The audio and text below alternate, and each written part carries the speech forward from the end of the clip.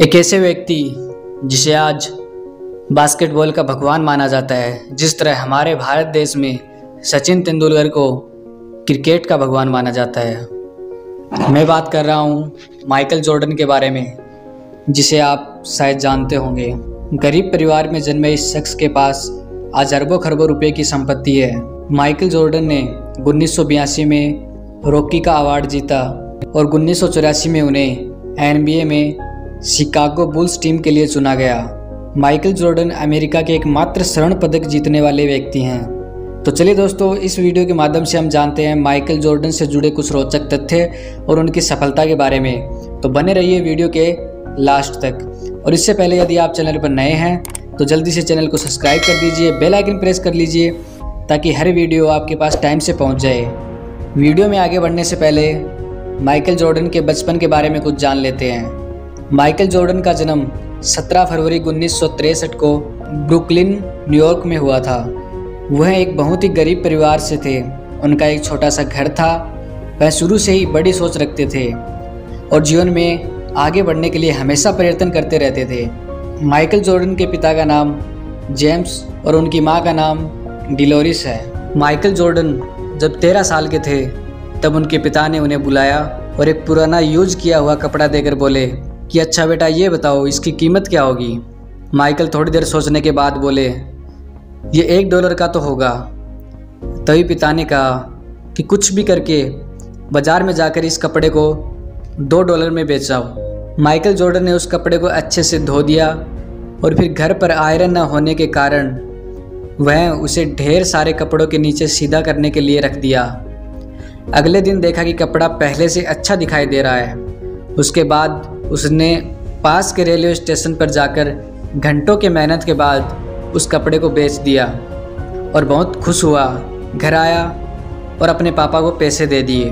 पंद्रह दिनों के बाद उसके पापा ने ठीक वैसे ही एक कपड़ा और दिया और कहा कि जाओ इसे बीस डॉलर में बेच के आओ। माइकल थोड़ा आश्चर्य होते हुए बोला, इसके बीस डॉलर कौन देगा? पिता ने कहा, एक बार कोशिश तो करो।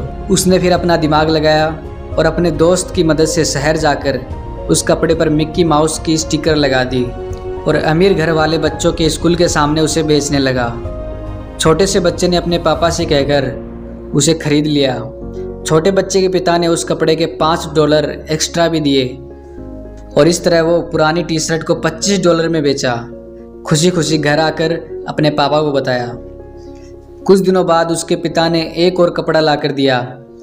इस बार कहा कि जाओ, इसे 20 डॉलर में बेच के आओ। इस बार तो ये बहुत ज़्यादा था। लेकिन माइकल ने ऐसा नहीं कहा कि नहीं होगा। माइकल ने इस चीज़ पर ध्यान दिया कि कैसे होगा। और वो लगातार उस कपड़े को 200 डॉलर में बेचने के लिए उस पर सोच विचार करने लगे कि इसे 200 डॉलर में कैसे बेचा जाए। इस बार उसने दो चार दिनों का समय लिया, क्योंकि उसे समझ नहीं आ रहा था कि उसका दाम एक डॉलर से बढ़ाकर 200 डॉलर कैसे किया जाए। अचानक उसके दिमाग में एक आइडिया आया और वह तुरंत शहर चला गया। उस दिन उस शहर में बहुत ही पॉपुलर एक्टर्स आई हुई थी। उसने पुलिस का घेरा तोड़ते हुए एक्टर से ऑटोग्राफ मांगने चला गया। मासूम से बच्चे को देखकर एक्टर्स ने मना नहीं किया और उस एक्टर्स ने उस कपड़े पर ऑटोग्राफ दे दिए। अगले दिन वह बाज़ार जाकर उस ऑटोग्राफ वाली टी शर्ट को 200 डॉलर में बेचने लगा और उसको लेने के लिए बहुत से लोग इकट्ठे हो गए। भीड़ इतनी ज़्यादा हो गई कि उस कपड़े को खरीदने के लिए बोली लगनी शुरू हो गई और अंत में उस टी शर्ट को एक पैसे वाले व्यक्ति ने 2000 डॉलर में खरीद लिया। जब इस बार वह इतने पैसे लेकर घर पहुँचा और पूरी कहानी अपने पिता को बताई तो उनकी आँखों में आँसू आ गए और वे बोले कि, बेटा, तुम अपनी ज़िंदगी में कुछ भी कर सकते हो। इस बात को याद करते हुए माइकल ने एक इंटरव्यू में कहा, जहाँ पर पॉजिटिव सोच होती है, वहाँ रास्ते अपने आप बन जाते हैं। माइकल जॉर्डन हमेशा स्कूल में बास्केटबॉल खेला करते थे। माइकल जॉर्डन के बहुत ही अच्छे खेल की वजह से, उनको बहुत से विश्वविद्यालयों से स्कॉलरशिप का ऑफ़र आया। बहुत सोचने के बाद, माइकल जॉर्डन ने अपने घर के पास रहना पसंद किया और नॉर्थ कैरोलिन विश्वविद्यालय को चुना। पहले ही सेशन उन्नीस सौ बयासी में उन्होंने नॉर्थ कैरोलिन विश्वविद्यालय में Atlantic Coast Conference a rookie का अवार्ड जीता। उन्नीस सौ चौरासी में Michael Jordan, United States Olympics basketball team का हिस्सा बने और कैलिफ़ोर्निया में गोल्ड मेडल भी जीता। माइकल ने नेशनल बास्केटबॉल एसोसिएशन के ज़रिए दुनिया भर में बहुत नाम कमाया है। माइकल के खेल करियर में एक वक्त ऐसा भी आया जब माइकल ने बास्केटबॉल से हटकर बेसबॉल में रुचि दिखाई, लेकिन फिर उन्होंने बास्केटबॉल को ही अपने व्यवसायिक खेल के तौर पर आगे बढ़ाया। उन्नीस सौ सतानवे में माइकल ने अपने खेल से संन्यास ले लिया। इसके बाद भी वे वाशिंगटन विजार टीम के ओनर रहे, लेकिन ज़्यादा समय तक माइकल अपने आप को बास्केटबॉल से दूर नहीं रख पाए। 2001 में उन्होंने फिर से वाशिंगटन विजार्ड के लिए खेलना शुरू किया और लगातार दो वर्ष तक इस टीम का हिस्सा बना रहे। अंत में 2003 में माइकल ने खेल को हमेशा के लिए अलविदा कह दिया। माइकल एक खिलाड़ी तो है ही, साथ ही वे एक सफल उद्यमी भी हैं। वे चार्लोट बॉबकट्स नामक कंपनी के मालिक भी हैं। माइकल ने दो शादियाँ की।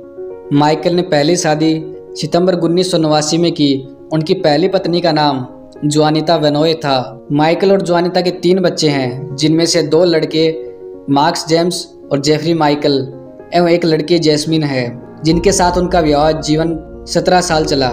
और 2006 में उनका तलाक हो गया। माइकल ने ज्वानिता को तलाक के बदले 1618 करोड़ डॉलर की राशि देनी पड़ी थी, जो सन 2006 तक का सबसे बड़ा तलाक हर्जाना था। माइकल ने दूसरी शादी 27 अप्रैल 2013 को क्यूबाई मॉडल युवती प्रीतो से की। माइकल जॉर्डन बहुमत रूप से शेरलोट बॉबकेट्स के मालिक थे। जॉर्डन को बास्केटबॉल खेल का पूरा अधिकार दिया गया था। जॉर्डन की पिछली सफलता के बावजूद उन्होंने विपणन अभियानों में शामिल न होने का फैसला लिया था। शेरलोट बॉबकेट्स के प्रति माइकल जॉर्डन का बहुत ही बड़ा योगदान है। 2012-13 के समय छियासठ मैच खेले गए थे, जिसमें से बॉबकट्स ने सात उनचास का रिकॉर्ड बनाया था। इसको देखते हुए जॉर्डन का कहना था कि वो रिकॉर्ड से बहुत खुश नहीं है और बहुत ही निराश है। 21 मई 2013 में जॉर्डन ने बॉबकट्स का नाम हॉर्नेट्स में बदलने का निर्णय लिया था और एनबीए ने इसको 17 जुलाई 2013 को मंजूरी दे दी थी।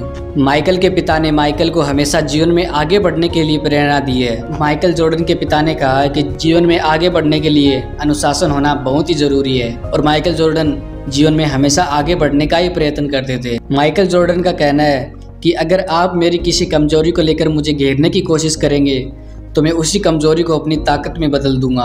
तो दोस्तों, ये थी माइकल जॉर्डन की संपूर्ण कहानी। हम इनकी कहानी से प्रेरणा लेकर जीवन में आगे बढ़ सकते हैं। दोस्तों, वीडियो कैसा लगा? कमेंट में ज़रूर बताएँ। और वीडियो को लाइक कर दीजिए, चैनल को सब्सक्राइब कर दीजिए, ताकि ऐसे वीडियो आपके पास आते रहें। तो चलिए दोस्तों, इजाज़त दीजिए। मिलते हैं नेक्स्ट वीडियो में। जय हिंद।